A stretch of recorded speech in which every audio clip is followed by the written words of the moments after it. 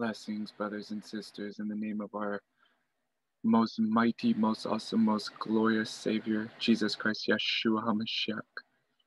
And I want to um, share something with you guys that's really important to understand, you guys.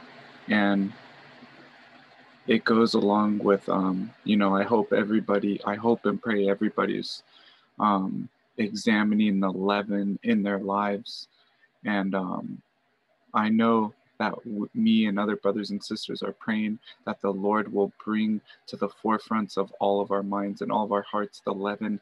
But I pray the pr- the prayer it really depends on each and every person, you guys, whether or not they're going to decide to, uh, if they're going to humbly look at their the leaven inside of them and give it to the Lord, right?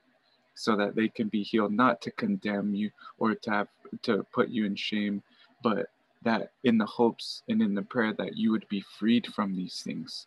Because a requirement from the Lord, you guys, is is that you have to walk humbly. And part of the spirit of humility is uh, being uh, having a willingness and a and an ability and a desire to look at these things, our shortcomings, because this is a thing, this Passover season is when people examine the leaven and so that they can grow. This is going to set the tone for the whole year.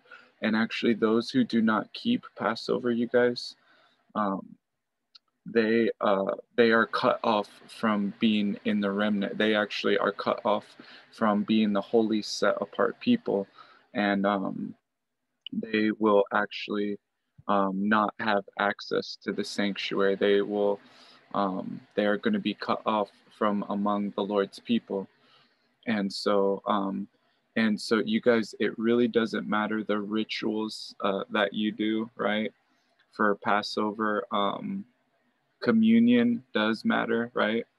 Because that is the sacrifice, that is the power of the sacrifice of Calvary, that is as Yeshua said in Matthew 26 26, he took bread, blessed it, and then said, This is my body, took wine, gave thanks for it, this is my blood. Um, but the other things, you guys, are just religious symbols. Those are um, those are not what the Lord desires of us, you guys, is that we look at the inner at that at our inner leaven and and humbly bring it before him, admit it, confess it, repent from it, and turn away from it so that we can grow with him. Because this is the time of year when the Lord comes out of his most glorious sanctuary and he he smites that spirit of bondage or that spirit of bondage. He smites that spirit of Pharaoh, right? And so this is the time of year where this is going to set the whole tone for the whole year of you, right? And you don't want to be cut off from the people. You this is the time where you want to um, be keeping the feast with sincerity and truth. I'm going to show you that scripture here in a second, but you guys, this is very important to understand. Look at this. And the great dragon was cast out, that old serpent called the devil and Satan or in uh, my boss who's Egyptian, uh, that name Satan is Shaitan. And that great dragon was cast out, that old serpent called the devil and Shaitan, which deceiveth the whole world, was cast out into the earth, and his angels were cast out with him. So, you guys, this um, Satan the Antichrist, the deceiver, he deceiveth the whole entire world, you guys. So anybody who is about their flesh, anybody who is a part of this world, you guys, they are going to be deceived because they're attached to this world. They are of the world. The flesh is of this world. Okay?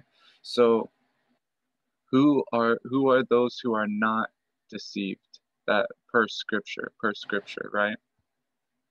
Well those who are not deceived are these. And there shall arise uh, we'll, we'll read this in context. And there shall arise false christs and false prophets and shall show great signs and wonders in so much that if it were possible if if it were possible. Now you guys a lot of people get this scripture confused and they say that it means that even the elect can be deceived, but that's not true, you guys. Um, the Lord has a holy, set apart people that are filled with the Holy Spirit, that are guided with the Spirit of truth, and that Spirit of truth guides them into all truths. So they cannot be deceived. If it were possible, they shall deceive the elect, if it were possible. That's not possible, you guys. The elect are not deceived.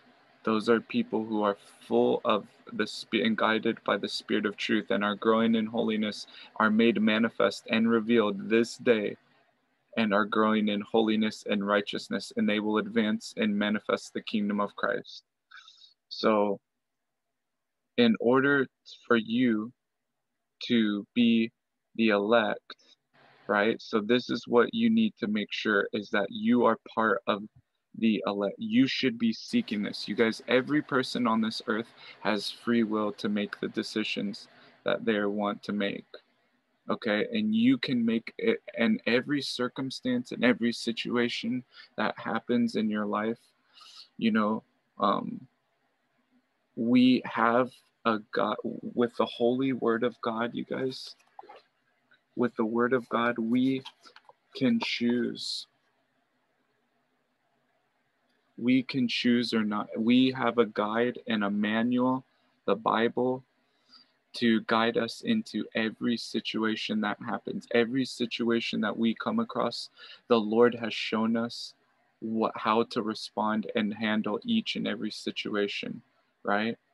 And the elect seek these things out. Now, you guys, those um that's why I want to emphasize on Passover. That's why Passover is such an important time because this is a time when the Lord will deliver anything. He'll deliver you from any anything anything that is holding you from entering into your fullness. He will deliver you from those spirits in this season if you keep um if you keep uh passover. Now the elect keep acknowledge and keep passover okay and I want to show you who the elect are. Behold, my servant, whom I uphold, mine elect. Right? Isaiah 42. For Jacob, my servant's sake, and Israel, mine elect, I have even called thee by name and surnamed thee. And I will bring forth a seed out of Jacob and out of Judah, an inheritor of my mountains, and my elect shall inherit it. Inherit it. You guys, the elect of God, uh, in my prayers, you'll you'll sometimes hear me say, Lord, um, establish us on your holy mountains, because those are the mountains, you guys. When you read the book of Ezekiel, where an actual uh, sanctuary um, a, reflection of the sanctuary up in heaven will be established there where God's feet will settle down and the elect the line of of um, God's elect his holy children are going to inherit those mountains that is where they are going to be established on right? In in the um look at this you guys. They shall not build and and, and another shall inhabit. They shall not plant and another eat. For as the days of a tree are the days of my people, and my elect shall long enjoy the work of their hands. You guys, it says this in another version in like the Septuagint. It says that his people will live as long as a tree again, like Adam and Eve. They live, they live to be very old, right? It says they're not going to build for another to inhabit. You know how people get construction jobs and then they have to go build a house for somebody else, or, you know, farmers, they plant food for someone else to eat. The Lord says it's not going to be like that anymore, right? This is talking about the kingdom of Christ. And so, um, here's Matthew 24 24 again. So, you guys, um, these elect are not deceived and they're guided with the spirit of truth. And every person has the ability, has the free will and access to the same grace and the same power that the elect do to um, to obtain these blessings and to be this um, set apart people. And one of those requirements, you guys, is to um, is to um, follow the word of God, okay, and and to um, to love the keep the uh, keep the word of God, to keep His commandments, and follow the Lord with all of your heart, mind, and strength. To walk humbly with Him. When you love the Lord, you guys, you love His word, right? And in any situation, everything that can happen to you, every situation that happens to you on a day-to-day basis, this uh, the word of God tells you how to handle each and every situation. Now, you guys, there's um a something that is happening where they're saying Iran or um, Israel is being surrounded by a ring of fire. Okay. And I don't think I can um, play this, you guys. But if you look down here, it says Iran backed Houthis complete ring of fire around Israel with new front in Yemen. So they're saying um, Jerusalem is, um, or Israel is surrounded by armies all around. Okay. And they're calling a, um, that there's, they're saying that there's a ring of fire around, um, around Israel and what this means, you guys, the reason why I'm pointing this out and why this is significant is because I want to show you something. When a woman is giving labor, okay, crowning is often referred to as the ring of fire because there's a lot of uh, when when the crownings happen and the baby's head is opening up that that woman's area it's tearing a lot of the tissues and the muscles. And so around the delivery area is called the ring of fire in the birthing process. It's when your baby's head becomes visible in the birth canal and you're fully dilated. It is the home stretch. Look at this, you guys. Home stretch. In more ways than one. Why does crowning get so much attention? Ring of fire home stretch, birthing canal. Now, you guys, um, what happens to um, people when God's people, whom He loves, when they don't, um, when they don't fully uh, turn to the Lord and they still have things that they're holding on to, um, you know, as for my calling in Christ, you guys, I have to let people know this, okay? Is that those who do not fully walk humbly with, with the Lord and fully submit and get rid of the leaven in their lives, what is going to happen is we are about to go into um, great tribulations. And in that tribulation, there's going to be a birth. Through this tribulation, you guys, or this birthing process, is when, um, is how believers are going to be purged from all of the things, the leaven in their life, and the things that they're continuing to hold on to. This tribulation is going to purge you from all of these things, right? So that's why we've been um, on this journey together and getting rid of our, of this leaven in our lives now, right? So that because this is what the Lord desires us to do, so that you don't have so much of it to endure during the tribulation, right? Uh, I'm going to show you something. In Genesis 3:16, it's he said to the the Lord said to the woman, "I will surely multiply your pain in childbearing, and you shall bring forth children. In pain you shall bring forth children." Right? John 16, when a woman is giving birth, she now she has sorrow because her hour has come, but when she has delivered the baby, she no longer remembers the anguish for joy that a human being has been born into the world. Right? So, um, you know, in the Revelation 12 sign, um, the cities shall be taken in the stronghold seeds for the sees the heart of the warriors of Moab shall be in that day like the heart of a woman in her birth pains. Okay? So you guys through this birthing this birthing process, right? Look at this. Therefore he shall give them up until the time when she who is in labor has given birth. Then the rest of his brothers shall return to the people of Israel. So you guys, this is the birthing process that is going to happen um, is going to in in the great tribulation right? This is part of the birthing process. The great tribulation is what is going to purge our people from all of their error and all of the things that they haven't worked on in this time.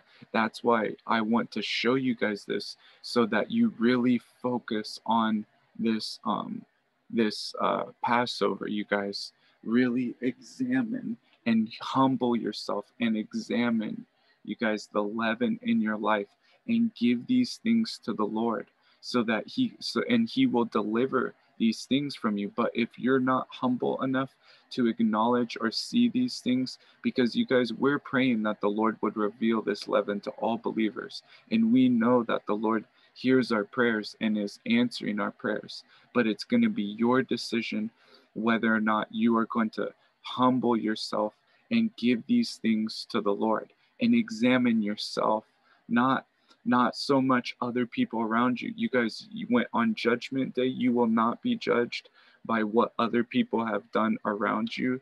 You will be judged by how you have handled these things. Do not be deceived by the enemy, you guys. Remember,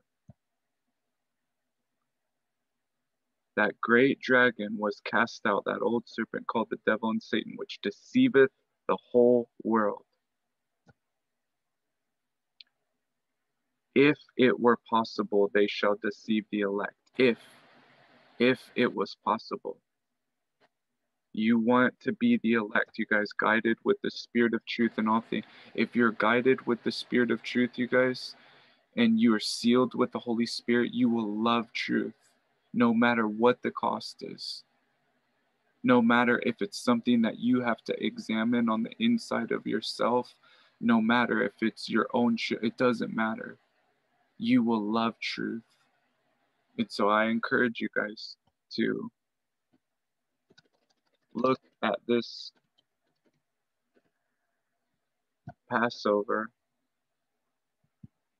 Take the rest of this week, you guys, and really reflect. Look at 1 Corinthians 1 It says, Purge out therefore the old leaven, that you may be a new lump, as you are unleavened. For even Christ our Passover is sacrificed for us. Thank you, Lord. Let us Therefore, let us keep the feast not with old leaven, neither with leaven of malice and wickedness, but the unleavened bread of sincerity and truth. You guys, this is for you to don't worry so much about the physical signs of Passover, but do this, you guys.